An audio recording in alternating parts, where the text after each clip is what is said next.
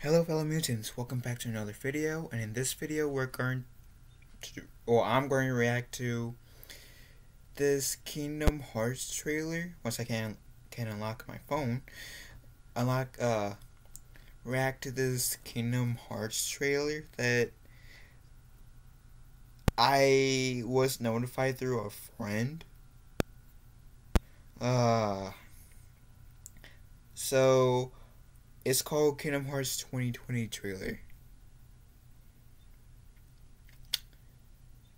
Okay, so and this friend said that they're they advertised this rhythm-based game in the trailer. I'm really hoping that my friend was just messing with me. But uh here we go.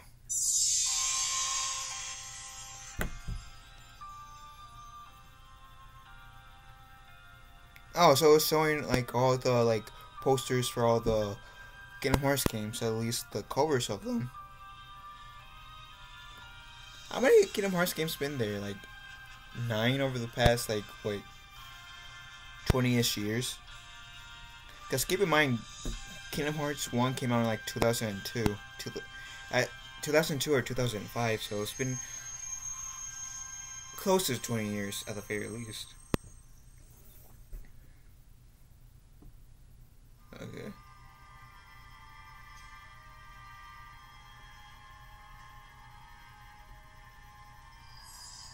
Kingdom Hearts.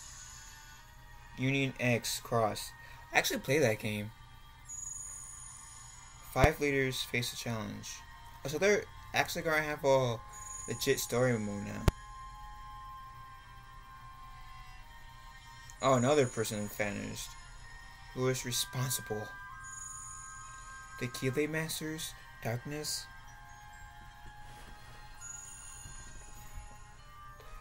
The final chapter begins to become part of their story. I was addicted to that game, so I had to uninstall it from my phone. But it was a really fun game, though. But when I mean addicted, I literally mean addicted. I it it it gave got to the point where it I was playing that more than doing the stuff I needed to do in my personal life, so I had to unfortunately delete that game so I won't get completely consumed by that. But that Hearts Union X is a pretty fun game. It's one of my favorite games I've ever played. So if you're thinking about downloading downloading it, you guys should, because Kingdom Hearts Union X is a fun game. It's a, it's a Kingdom Hearts mobile game. Anyways, I'm going to shut up and continue the trailer. Why did he become the Seeker of Darkness?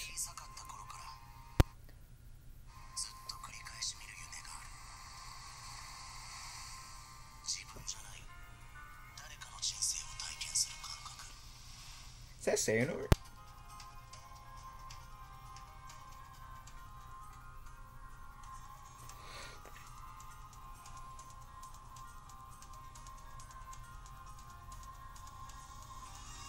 Yeah, that's Xehanort and Eraqus.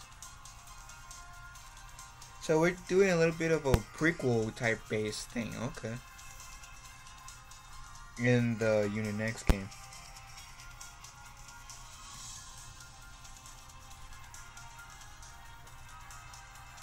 Oh yeah, it says in here. Crap. It does say defeat those who stand in the way and engulf the events of Xehanort's past, so we're getting some prequel action. I also linked the uh, the trailer to this in a pin comment down below so you guys can watch it. Oh, it's coming out on June 22nd. Is that today? Wait, hold on. I'm going. I gotta see. Hold on. No, June 22nd is tomorrow. Okay. So that Xehanort's Past thing is comes out tomorrow. Got you.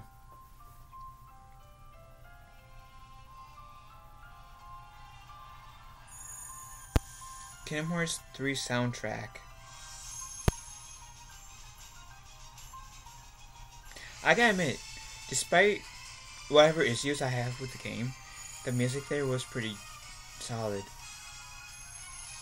I listen to the credits a lot on YouTube. Oh, it's coming out fall 2020 worldwide. Nice. But yeah, the music Kingdom Hearts 3 was solid. The first Kingdom Hearts I was hoping my friend would be Why? Just why?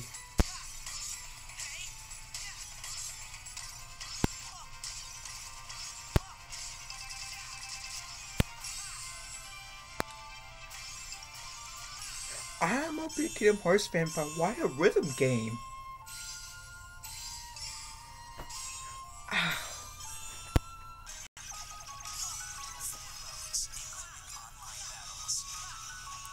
Don't tell me this is part of the canon story.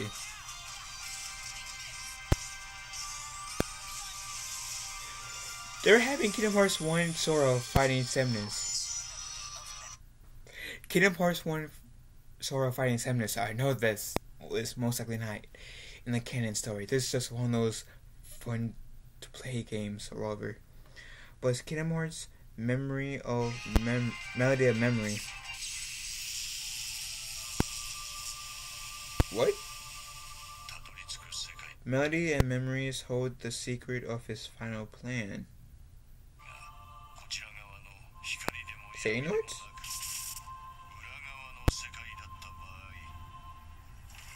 Yeah.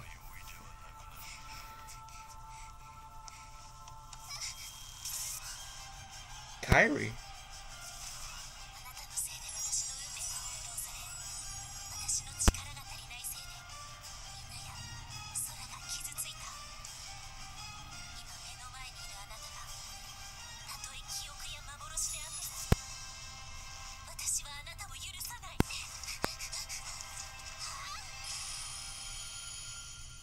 Okay, so this whole Kingdom Hearts Melody of Memory thing that it's not the rhythm based game, but apparently is involves Kairi and she's gonna be the main lead to this game. And it appears that she's going the whole premise of the game from this trailer, the Melody of Memory, is that Kairi is going to still be looking for Sora.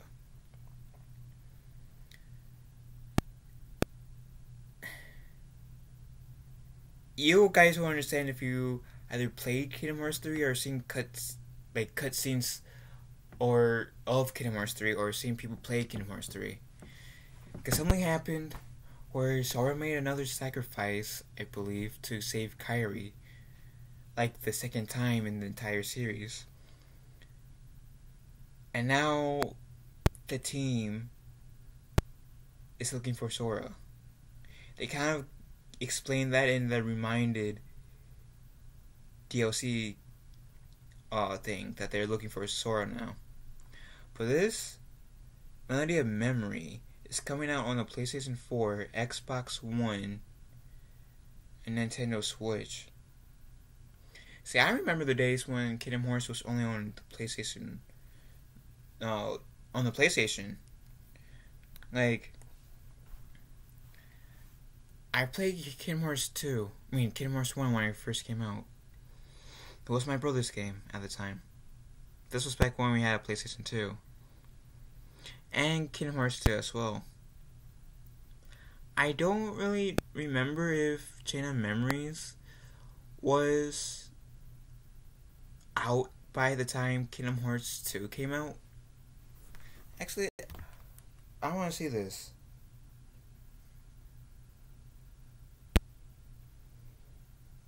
Uh, okay, so Kingdom Hearts Chain Memories. Because it's originally a Game Boy game that later got onto the PlayStation. Okay, so it was Kingdom Hearts 1, then Chain of Memories, then Kingdom Hearts 2. Okay.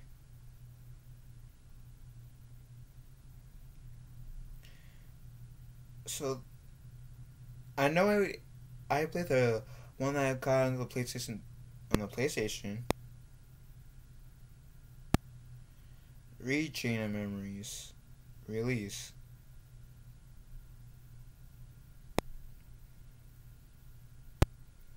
But it's just giving me uh the original Chain of Memories. When I'm looking it up, I'm trying to look for uh You know what? I probably Chain Memories on place PS2 uh release date. Still giving me the Game Boys. I'm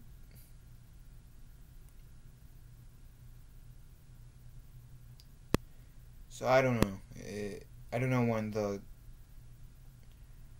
the PlayStation for some Chain Memories came out on the PlayStation 2, I mean. But long story short, that trailer wasn't really bad. It just announced we're gonna get some new stuff to the whole mobile game. The Kingdom Hearts 3 soundtrack is coming out soon. We're getting a Kingdom Hearts rhythm based game like why? And is it even canon? I mean, like in terms of the story, because I'm kind of confused because I don't know whether or not this is canon or just uh one of those games that is part of the Kingdom Hearts universe, but it's not really canon to the overall story. Cause they, I think it was in uh, Dream Drop Distance, is where they introduced the whole time traveling bit for the whole Kingdom Hearts universe. But Kingdom Hearts played a. so I don't know if it's one of those type deals for the rhythm based game. I'm just asking myself why they're making a rhythm based game to Kingdom Hearts. It seriously does not make any sense to me whatsoever. Uh, but they, uh, Kingdom Hearts game with Kairi in it. That uh uh, Wes Corkin. Melody of Memory. That Melody of Memory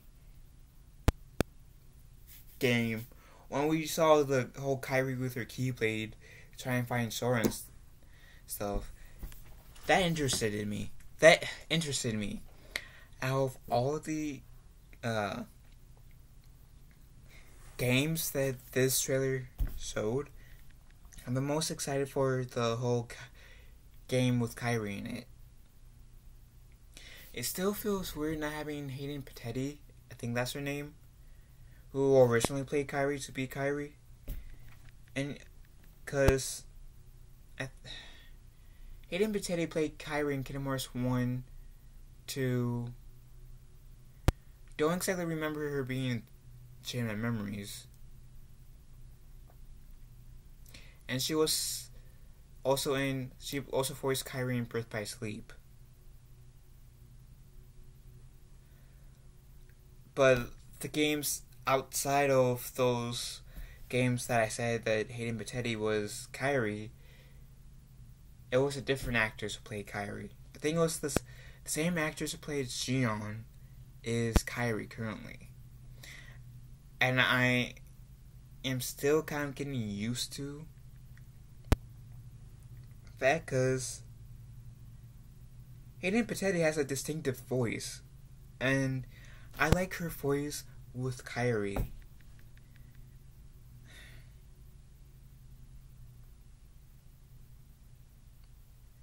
Man, I'm not saying that the new voice for Kairi is bad, it's just I'm having a hard time adjusting to it. But long story short, the game that got me most excited was the one that had Kairi in it. Like, that made it appear that we are going to be able to play as Kairi.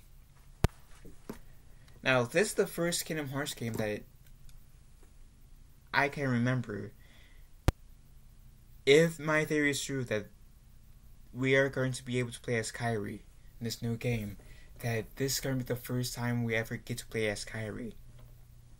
Because we get to play as Sora, we gotta play as Sora, we gotta play as Roxas, which is Sora's nobody. We gotta play as Xion, which is Sora's and Kairi's nobody. We gotta play as Riku. We gotta play if you died at Beast Castle, and I forget what other world in Kingdom Hearts 2. I think it, it was in Mulan's world as well. Then you get to play as Mickey, but that uh, if you play as Mickey is only for like a whole minute and a half, depending. And then, uh, of course, uh, the characters in uh, Birth by Sleep, you get to play as those three characters: Aqua, Ventus, and Terra. But we never played as Kairi. So this is the first time we get to play as Kairi, so I'm excited. So again, I'm going to once this once I know this video is uploaded, I'm going to pin I'm going to put a link to the trailer, the Kingdom Hearts 2020 trailer. Down, I'm going to link that trailer in the pin comments down below, so you guys have a chance to actually see it. But yeah, so again, it's a brief recap. The mobile game thing. I might actually download the mobile game thing just so I can see Xehanort's past. Maybe I would do that on my uh, laptop if I can get away with it.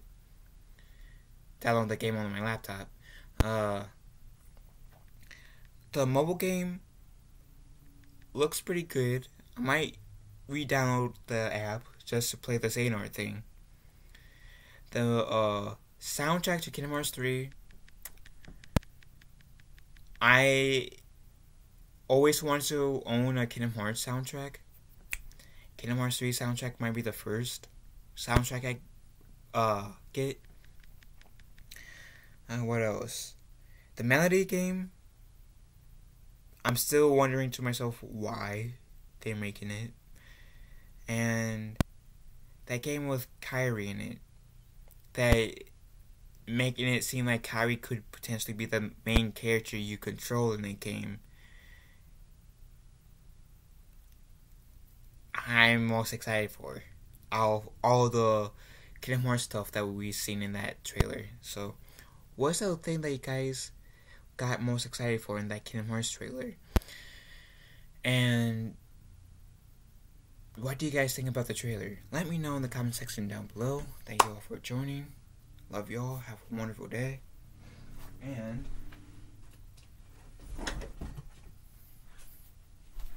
as the characters in Kingdom Hearts would say, and I'm purposely bringing my Keyblade in here.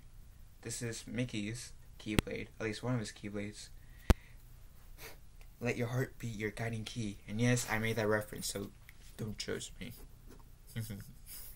but all seriousness, love you all. Have a wonderful day. Catch you guys later. And be kind to one another.